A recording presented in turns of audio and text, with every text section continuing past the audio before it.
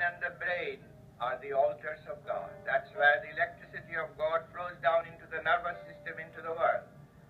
And the searchlight of your senses are turned outwards. But when you will reverse the searchlights through Kriya Yoga and be concentrated in the spine, you will behold the Maker. That's what self-realization teaches. The technique of meditation, recharging the body battery